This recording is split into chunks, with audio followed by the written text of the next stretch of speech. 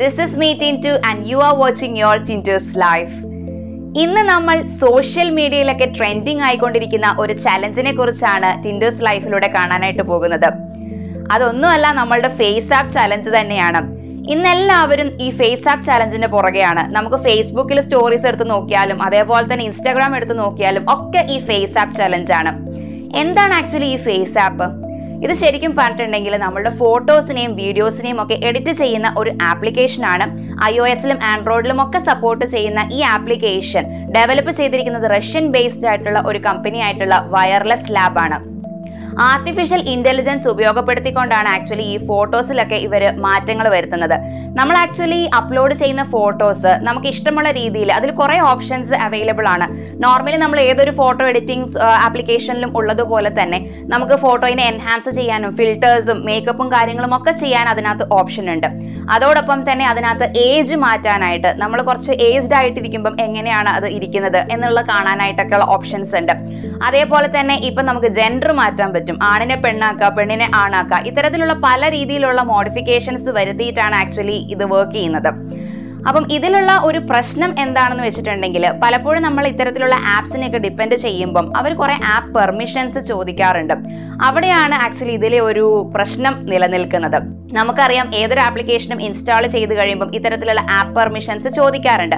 നമ്മൾ എല്ലാ കാര്യങ്ങളും ഒന്നും വായിച്ചു നോക്കാതെ പലപ്പോഴും അത് അഗ്രി ചെയ്യാറുണ്ട് അല്ലേ? അതുവഴി നമ്മളുടെ ഇൻഫർമേഷൻസ് ആണ് സത്യം പറഞ്ഞാൽ നമ്മൾ അവരുമായിട്ട് ഷെയർ ചെയ്യുന്നത്. നമ്മളുടെ വളരെ കോൺഫിഡൻഷ്യൽ ആയിട്ടുള്ള യൂസർ ഐഡന്റിറ്റിയും പേഴ്സണൽ പ്രൈവറ്റ് ആയിട്ട് വെക്കുന്ന കാര്യങ്ങളും ഒക്കെയാണ് നമ്മൾ അവരുമായിട്ട് ഷെയർ ചെയ്യുന്നത്. കാരണം നമുക്കറിയാം അവർ നമ്മളോട് ചോദിക്കും നമ്മളുടെ കോൺടാക്ട്സ് അവർക്ക് ആക്സസ് ചെയ്തോട്ടെ. അതേപോലെ നമ്മളുടെ ഫോണിലുള്ള ഫോട്ടോസ് ആൻഡ് മീഡിയാസ് അവർ ആക്സസ് ചെയ്തോട്ടെ ഡോക്യുമെന്റ്സ് കൂടാതെ നമ്മളുടെ ലൊക്കേഷൻ വരെ നമ്മൾ അവിടെ ഷെയർ ചെയ്യുന്നുണ്ട്. അപ്പോൾ നമ്മളുടെ ഇൻഫർമേഷൻസ് സത്യം പറഞ്ഞാൽ നമ്മൾ വേറൊരു സെർവറിലേക്ക് പാസ് ചെയ്ത് കൊടുക്കുകയാണ് ചെയ്യുന്നത്. ഇതുവഴി നമുക്ക് ആക്ച്വലി ഭയങ്കര ഒരു സെക്യൂരിറ്റി പ്രശ്നം നിലനിൽക്കുന്നുണ്ട്. നമ്മൾ പലപ്പോഴും ഇതൊന്നും നോക്കാതെയാണ് എല്ലാ ആപ്ലിക്കേഷൻസും ഇൻസ്റ്റാൾ ചെയ്യുന്നത്. ഇത്തരത്തിൽ നമ്മൾ അപ്ലോഡ് ചെയ്യുന്നതായ ഫോട്ടോസ് അതായത് നമ്മളൊരു ഫേസ് ആപ്പിലേക്ക് അപ്ലോഡ് ചെയ്യുന്നതായ ഫോട്ടോസ് എല്ലാം നമുക്ക് അപ്ലോഡ് ചെയ്യുമ്പോൾ തന്നെ നമുക്ക് ഇങ്ങനെ ലോഡിംഗ് ആയിട്ടുള്ള ഒരു സിമ്പിൾ കാണാറുണ്ട്. നമ്മൾ ആക്ച്വലി ഓർക്കുന്നത് ആ സമയത്ത് നമ്മളുടെ ഫോട്ടോസ് എല്ലാം പ്രോസസ്സ് ചെയ്തപ്പെട്ടുകൊണ്ടിരിക്കുകയാണ്. ആപ്ലിക്കേഷൻ വർക്ക് ചെയ്തുകൊണ്ടിരിക്കുകയാണ് എന്നുള്ളതാണ്. നമ്മൾ കൊടുത്തിരിക്കുന്ന ആ ഡിസൈഡ് ഇഫക്റ്റ് കിട്ടാൻ വേണ്ടിയിട്ട്. ആക്ച്വലി ഇവിടെ സംഭവിക്കുന്നത് എന്താണെന്ന് വെച്ചിട്ടുണ്ടെങ്കിൽ നമ്മൾ അപ്ലോഡ് ചെയ്യുന്ന ഫോട്ടോസ് എല്ലാം അവരുടെ റഷ്യൻ സെർവറിലേക്ക് ട്രാൻസ്ഫർ ചെയ്യപ്പെടുകയാണ് ചെയ്യുന്നത്. അവിടെ വെച്ചാണ് അവർ ഈ ആർട്ടിഫിഷ്യൽ ഇന്റലിജൻസ് ഒക്കെ ഉപയോഗപ്പെടുത്തിയിട്ട് നമ്മളുടെ ഫേസിന് ഇത്തരത്തിലുള്ള മോഡിഫിക്കേഷൻസും കാര്യങ്ങളും ഒക്കെ വരുത്തിയിട്ട് ഫൈനൽ പ്രൊഡക്റ്റ് നമുക്ക് വീണ്ടും അയച്ചു തരുന്നത്. അപ്പം ഇത്തരത്തിലുള്ള വലിയൊരു പ്രോസസ്സ് അവിടെ നടക്കുന്നുണ്ട്. ഇങ്ങനെ അപ്ലോഡ് ചെയ്യപ്പെടുന്ന ഫോട്ടോസ് അവരുടെ സെർവറിൽ ഉണ്ടാകും. അപ്പൊ ഇങ്ങനെ ഒരു കാര്യം വന്നപ്പം യു എസ് ഇതിനെക്കുറിച്ച് കൂടുതൽ കാര്യങ്ങൾ അന്വേഷിക്കുകയും അവർ കൂടുതൽ ഈ സെക്യൂരിറ്റി കാര്യങ്ങളൊക്കെ കൂടുതൽ കൺസേൺഡ് ആയിട്ടുള്ള ആളുകളായതുകൊണ്ട് തന്നെ അവർ ഇതിനെക്കുറിച്ച് കൂടുതൽ ഇൻവെസ്റ്റിഗേഷൻസ് നടത്താനായിട്ടുള്ള കാര്യങ്ങൾ ചെയ്തുകൊണ്ടിരിക്കുകയാണ്. അപ്പം ഇങ്ങനെ ചെയ്യുന്നത് വഴിയായിട്ട് അവർ പറഞ്ഞെന്ന് വെച്ചിട്ടുണ്ടെങ്കിൽ ആക്ച്വലി അവരുടെ ആ ഒരു പ്രോസസ്സിങ് ചെയ്യാൻ വേണ്ടിയിട്ട്. കാരണം ഒത്തിരി ഫിൽറ്റേഴ്സും കാര്യങ്ങളും ഒക്കെ അപ്ലൈ ചെയ്യുമ്പം അവരുടെ ആ ക്ലൗഡ് സ്പേസിലേക്ക് അത് അപ്ലോഡ് ചെയ്തിട്ടാണ് ഇത്തരത്തിൽ പ്രോസസ്സിങ് ചെയ്യുന്നത്. അതിനുശേഷം ഈ ഫോട്ടോസ് ഡിലീറ്റ് ചെയ്യുന്നു എന്നാണ് ആക്ച്വലി ഇതിന്റെ ഫൗണ്ടേഴ്സ് പറയുന്നത്.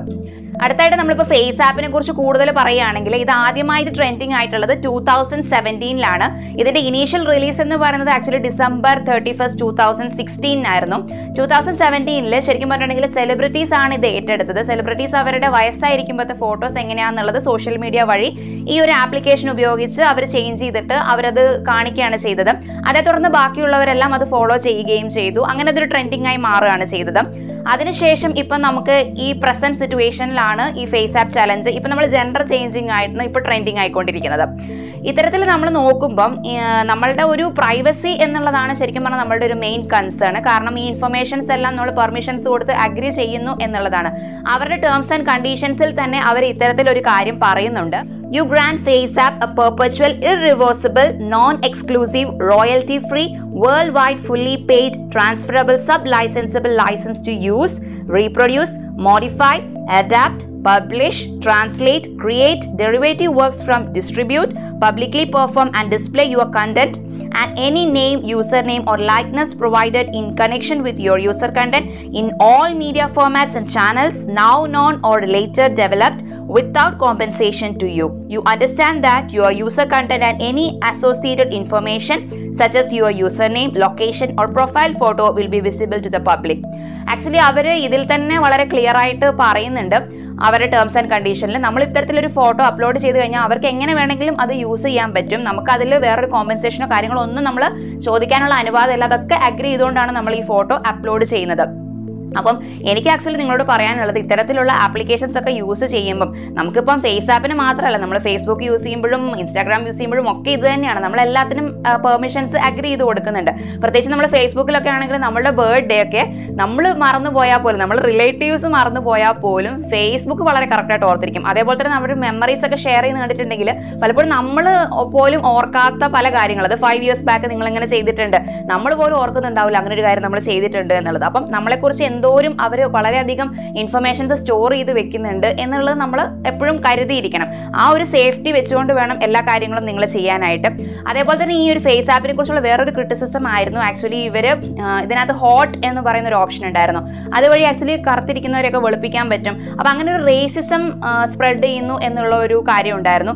അപ്പോൾ അങ്ങനെ ഒരു ക്രിറ്റിസിസം വന്ന സമയത്ത് അവർ ആക്ച്വലി ആ ഒരു ഫെസിലിറ്റി അതിൽ നിന്ന് ഒഴിവാക്കുകയാണ് ചെയ്തിട്ടുള്ളത്. അപ്പോൾ ഇത്തരത്തിലുള്ള ക്രിറ്റിസിസംസ് ഒക്കെ നിലനിൽക്കുന്നുണ്ട്.